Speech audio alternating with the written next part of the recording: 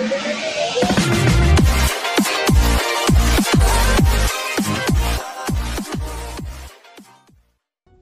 दोस्तों, मेरा नाम है जेके और आप देख रहे हैं टेक्निकल बोली। दोस्तों, आज मैं आपके लिए लेकर आया हूँ एक प्रोफेशनल लाइटिंग सेटअप जी हाँ दोस्तों, ये लाइटिंग सेटअप है जो मैंने दिल्ली की चांदनी चौक मार्केट से लिया है। ये करीब हज़ार रुपये के अंदर अंदर आ जाता है और आपको वीडियो को देता है एक प्रोफेशनल लुक जी हाँ दोस्तों, करते हैं इसकी अनबॉक्सिंग और देखते हैं क्या खास है इस लाइटिंग सेटअप में। तो आइए शुरू करते हैं। दोस्तों, कुछ इस तरह का है ये लाइटिंग स्टैंड जैसा कि आप देख सकते हैं डिजीटैक की तरफ़ से ये है। प्रोफेशनल फोटोग्राफी स्टैंड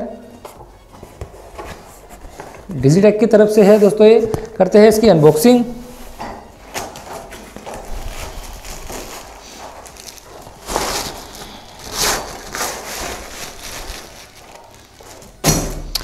जी हाँ दोस्तों कुछ इस तरह का दिखता है ये लाइटिंग स्टैंड काफ़ी हैवी है ये लाइटिंग स्टैंड तो करते हैं इसको ओपन यहाँ से खोल लेते हैं इसको। यस ये इसका कुछ इस तरह का स्टैंड हो जाता है। कुछ इस तरह की हाइट हमें इसको देखने को मिलती है दोस्तों। देखते हैं कितना ऊपर ये जाता है। हाइट काफ़ी ज़्यादा है दोस्तों, इसकी करीब पूरा ओपन होने के बाद ये सात से आठ फुट तक ओपन हो जाता है, लंबा हो जाता है। दोस्तों, इसके साथ मैंने लिया है एक ऊपर लगने वाला होल्डर का सेट। वो भी एक ट्विन होल्डर सेटअप है। करीब चार सौ का वो मुझे मिला था दिल्ली की चांदी चौक मार्केट से और चार सौ का ही स्टैंड मुझे मिला था। तो आइए देखते हैं क्या है वो दूसरी चीज़। जी हाँ दोस्तों, कुछ इस तरह का ये लाइटिंग होल्डर है। मैं आपको ओपन करके दिखा देता हूँ कैसा है ये।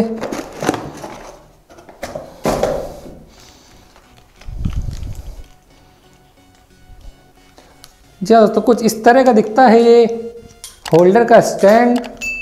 इसको कर लेते हैं, इस तरह से इस पर माउंट।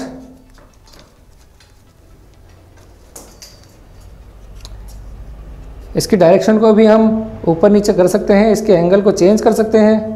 दोस्तों, इसके साथ मैंने लिए हैं ये दो होल्डर के सॉकेट, जो कि कन्वर्ट हो जाते हैं नॉर्मल वाले, जो हमारा नॉर्मल वाला जो हमारा बल्ब आता है, वो इसमें आसानी से फिट हो जाते हैं। तो फिट कर लेते हैं इनको भी दोस्तों।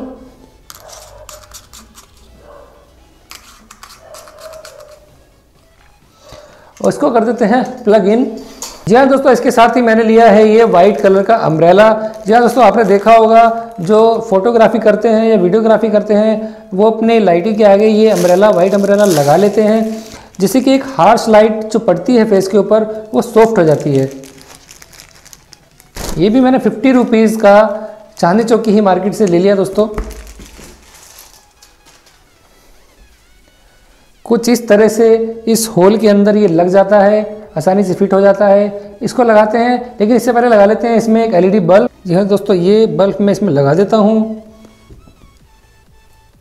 और ये अम्ब्रेला भी इसमें फिट कर देता हूँ।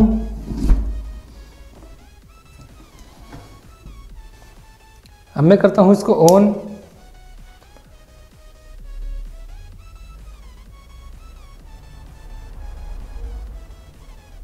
तो देखा दोस्तों, आपने कितना प्रोफेशनल लुक ये दे रहा है। प्रोफेशनल लाइट एक पड़ती है। अभी मैं आपको कैमरे के सामने इसको रख के दिखा रहा हूँ, इसलिए शायद आपको पता नहीं चल रहा होगा।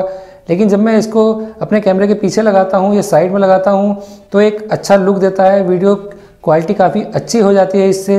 वैसे तो मैं लेने गया था रिंग लाइट लेकिन काफ़ी महँगी मुझे वो पड़ रही थी। करीब चार हज़ार रुपये की एक रिंग लाइट मुझे पड़ रही थी। इसलिए मैंने ये लाइटिंग सेटअप को चूज़ किया। अभी मैं एक ही सेटअप लेकर आया हूँ दोस्तों, लेकिन मैं आपसे सजेस्ट करूँगा कि अगर आप ये सेटअप लेने जाएँ तो आप कम से कम दो सेटअप लीजिए।